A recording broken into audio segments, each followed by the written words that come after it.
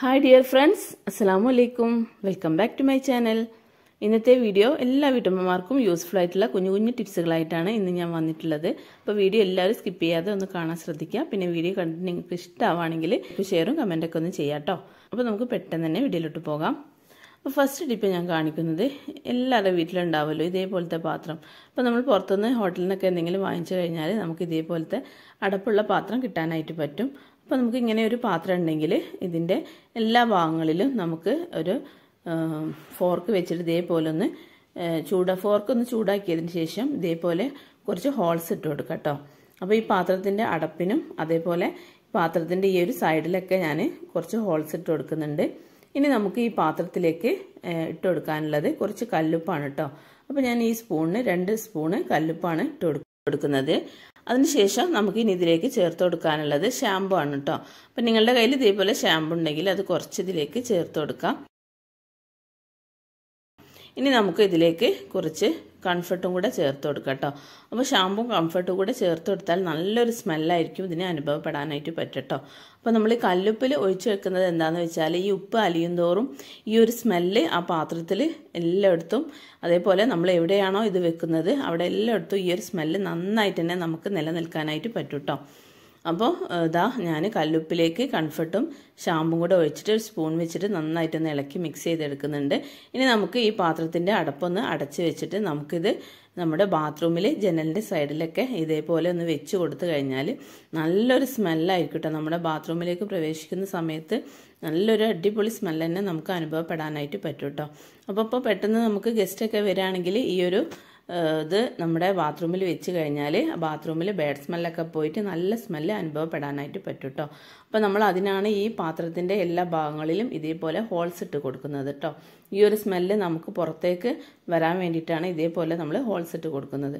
പിന്നെ നമ്മൾ ഉപ്പിലിട്ട് കൊടുക്കുന്നത് ഈ ഉപ്പ് അലിയും തോറും ഈ ഒരു സ്മെല്ല് നന്നായിട്ട് നമുക്ക് പുറത്തേക്ക് കിട്ടാനായിട്ടാണ് കേട്ടോ ഈ ഉപ്പിൽ തന്നെ ചേർത്ത് കൊടുക്കുന്നത് അപ്പോൾ എല്ലാവരും ഈ ടിപ്പൊന്ന് ചെയ്ത് നോക്കുക ഇനിയിപ്പോൾ ബാത്റൂമിൽ നല്ല കേട്ടോ റൂമിലും അതേപോലെ ബാഡ് സ്മെല്ലൊക്കെ ഉണ്ടെങ്കിൽ റൂമിന്റെ കട്ടന്റെ ബാക്കിലൊക്കെ ഈ ചെറിയൊരു ബോട്ടിലാക്കിയിട്ട് ഇതൊന്ന് വെച്ചെടുത്ത് കഴിഞ്ഞാൽ നല്ല സ്മെല്ലായിരിക്കും കേട്ടോ റൂമിലായാലും ബാത്റൂമിലായാലും ഒക്കെ ഇത് നല്ലൊരു അടിപൊളി സ്മെല്ല് തന്നെയാണ് കേട്ടോ അതുണ്ടാവുക അപ്പോൾ എല്ലാവരും ഈ ടിപ്പൊന്ന് ചെയ്ത് നോക്കണേ.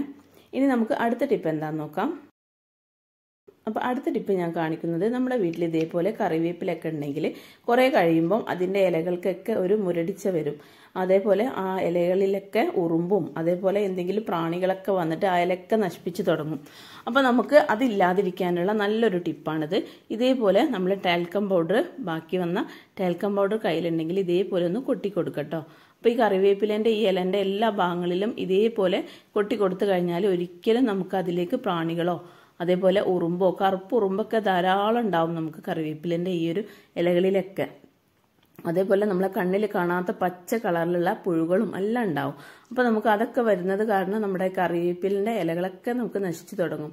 അപ്പോൾ നമുക്ക് ഇതേപോലെ പൗഡർ കൊട്ടി കൊടുത്തു കഴിഞ്ഞാൽ ഒരിക്കലും നമുക്ക് ഉറുമ്പ് വരാൻ ചാൻസ് ഇല്ല കേട്ടോ അപ്പോൾ എല്ലാവരും ഈ ഒരു ടിപ്പും ചെയ്ത് നോക്കണേ. ഇനിയിപ്പോൾ കറിവേപ്പിന്റെ ഇലക്കുന്ന മാത്രമല്ല കേട്ടോ തക്കാളിന്റെ ആയാലും അതേപോലെ ചീരന്റെ ഇല ആയാലും എല്ലാത്തിനും ഇതേപോലെ നമ്മൾ പൗഡർ കൊട്ടി കൊടുത്തു കഴിഞ്ഞാൽ ഒരിക്കലും നമുക്കതിൽ പ്രാണികളോ ഉറുമ്പോ ഒന്നും വരാൻ ചാൻസ് ഇല്ല കേട്ടോ അപ്പോൾ നമുക്ക് ഇനി അടുത്ത ടിപ്പ് എന്താണെന്ന് നോക്കാം. അപ്പോൾ അടുത്ത ടിപ്പ് നമ്മൾ കറിവേപ്പിന്റെ ഇലന്റെ ഇതേപോലെ നമുക്കൊരു തടം വെച്ച് കൊടുക്കാം. കറിവേപ്പില നല്ല രീതിയിൽ തന്നെ തഴച്ചു വളരാനുള്ള ഒരു അടിപൊളി ടിപ്പ് തന്നെയാണ് കേട്ടത് അപ്പോൾ ഇതേപോലെ ഒരു തടം വെച്ച് കൊടുത്തതിന് ശേഷം അപ്പോൾ ഇനി ചിരട്ടന്നെ വേണമെന്നില്ല കേട്ടോ. തടം വെച്ച് കൊടുക്കാനായിട്ട് ഒരു കല്ലാണെങ്കിലും മതി കേട്ടോ. അതേപോലെ കുറച്ച് കല്ലുകൾ എടുത്തിട്ട് ഇതേപോലെ ഒന്ന് തടം വെച്ച് കൊടുത്തതിന് ശേഷം നമുക്ക് ഈ തടത്തിലേക്ക് നമുക്ക് കുറച്ച് ഉള്ളിത്തോൽ ഇട്ട് കൊടുക്കട്ടോ അപ്പോൾ നമ്മൾ ഇപ്പൊ നോമ്പൊക്കെയാണല്ലോ അപ്പോൾ നമ്മൾ ഉള്ളിയൊക്കെ ഉള്ളി അതേപോലെ ഇഞ്ചിയൊക്കെ ഉരിച്ച തോലുകളൊക്കെ ഉണ്ടാവുമല്ലോ. അപ്പോൾ നമ്മൾ ഒരിക്കലും അത് കളയേണ്ട ആവശ്യമില്ല കേട്ടോ. ഇതേപോലെ ഈ തടത്തിലേക്ക് ഇട്ടിട്ട് ഇനി കുറച്ച് ഇതിലേക്ക് നമ്മൾ പുളിച്ച കഞ്ഞിവെള്ളം തന്നെ ഒഴിച്ചു കൊടുക്കാനായിട്ട് ശ്രദ്ധിക്കട്ടോ. തലേ ദിവസത്തെ കഞ്ഞിവെള്ളം നമ്മൾ എടുത്തു വെക്കല്ലോ. അപ്പോൾ നല്ലൊരു പുളിപ്പായിരിക്കില്ല ആ കഞ്ഞിവെള്ളത്തിന്. അപ്പോൾ ആ കഞ്ഞിവെള്ളം ഇതിന്റെ മുകളിലേക്ക് ഇതേപോലെ ഒന്ന് ഒഴിച്ചു കൊടുക്കുക ഇനിയിപ്പോൾ നിങ്ങളുടെ കയ്യിൽ മുട്ടത്തോടോ അതേപോലെ ചായന്റെ ചണ്ടിയോ ചായപ്പൊടി ചണ്ടിയൊക്കെ ഉണ്ടാവുമല്ലോ. അതൊക്കെ ഉണ്ടെങ്കിൽ ഇതിലേക്ക് ഇട്ട് കൊടുത്തിട്ട് ഇതേപോലെ ഇതിന്റെ മുകളിൽ കുറച്ച് കഞ്ഞിവെള്ളം കൂടെ ഒഴിച്ചു കൊടുക്കുക. എന്നിട്ട് കുറച്ച് മണ്ണും കൂടെ ഇതിന്റെ മുകളിലേക്ക് ഇതേപോലെ ഇട്ട് കൊടുത്തു കഴിഞ്ഞാൽ കറിവേപ്പിന്റെ ഇലക്കെന്ന് മാത്രമല്ല കേട്ടോ. നമ്മുടെ എല്ലാ കൃഷികൾക്കും നല്ലൊരു വളം തന്നെയാണ് ഇട്ടത് അപ്പോൾ എല്ലാവരും ഈ ടിപ്പ് ചെയ്ത് നോക്കാം നമ്മൾ വെറുതെ വേസ്റ്റാക്കി കളയുന്ന ഉള്ളിത്തോലും അതേപോലെ മുട്ടത്തോടും ചായച്ചണ്ടിയൊക്കെ ഉണ്ടെങ്കിൽ നമുക്ക് എടുത്ത് വെച്ചിട്ട് ഇതേപോലെ നമുക്ക് വളമായിട്ട് ഉപയോഗിക്കാവുന്നതാണ് കേട്ടോ. നമ്മുടെ അടുക്കള തോട്ടങ്ങളിൽ നല്ല രീതിയിൽ തന്നെ തഴച്ച് വളരാനായിട്ടുള്ള നല്ലൊരു ടിപ്പും കൂടാണ് ഇട്ടത് അപ്പോൾ ഇതേപോലെ ചെയ്ത് കഴിഞ്ഞാൽ കറിവേപ്പില പച്ചക്കറി അതേപോലെ അതേപോലെ ചീര തക്കാളി എന്തായാലും നമുക്ക് നല്ല രീതിയിൽ തന്നെ നല്ല തഴച്ച് വളരാനായിട്ട് പറ്റും കേട്ടോ അപ്പോൾ എല്ലാവരും ഇത് ഈ രീതിയിലൊക്കെ ഒന്ന് ചെയ്ത് നോക്കാം. നമ്മൾ വെറുതെ വേസ്റ്റാക്കി കളയുന്ന കഞ്ഞിവെള്ളവും അതേപോലെ ഉള്ളിത്തോലും പഴത്തോലും മുട്ടത്തോടും ചായച്ചണ്ടിയൊക്കെയാണ് ഇട്ടത്. അപ്പോൾ എല്ലാവരും ഈ രീതിയിലൊന്ന് ചെയ്ത് കഴിഞ്ഞാൽ നമ്മുടെ അടുക്കളത്തോട്ടം നല്ല രീതിയിൽ തന്നെ തഴച്ച് വളരാനായിട്ട് പറ്റും കേട്ടോ അപ്പോൾ ഈ ടിപ്പൊക്കെ ഒന്ന് ചെയ്ത് നോക്കണേ.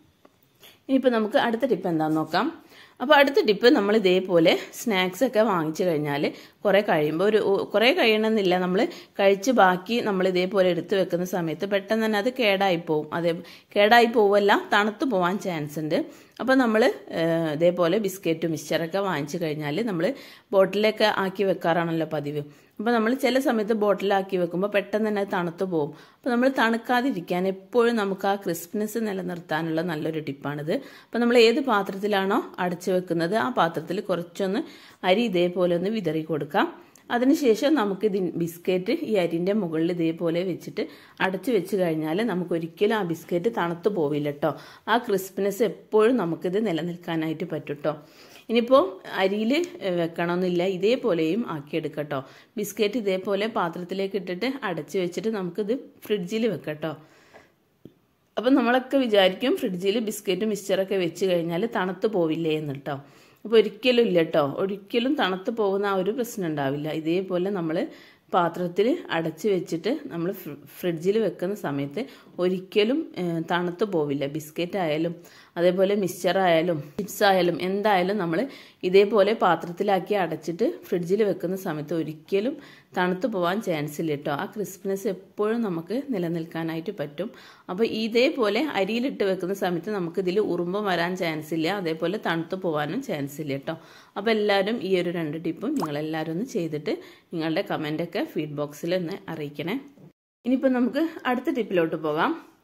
അപ്പോൾ അടുത്ത ടിപ്പ് ഞാൻ കാണിക്കുന്നത് നമ്മുടെ വീട്ടിൽ ഇതേപോലത്തെ ചെറിയ ബോട്ടിലൊക്കെ ഉണ്ടാവുമല്ലോ.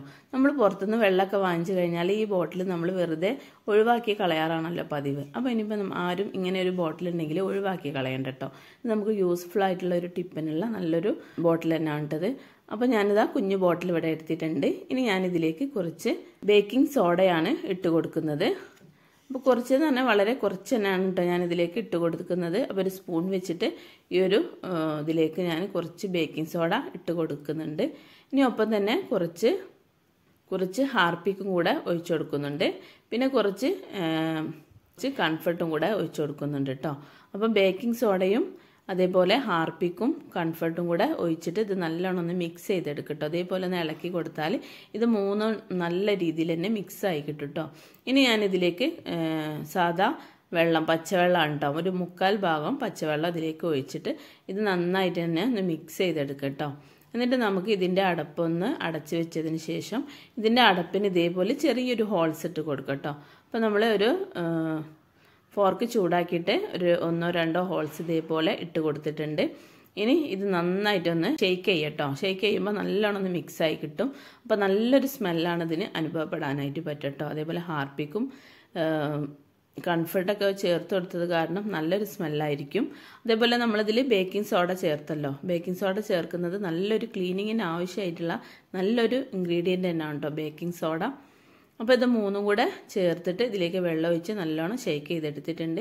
ഇനി ഞാനിത് എവിടെയാണ് വെക്കാന്ന് വെച്ചാൽ നമ്മുടെ ബാത്റൂമിൽ നമ്മുടെ ടോയ്ലറ്റിലെ ഫ്രഷ് ടാങ്ക് ഉണ്ടല്ലോ.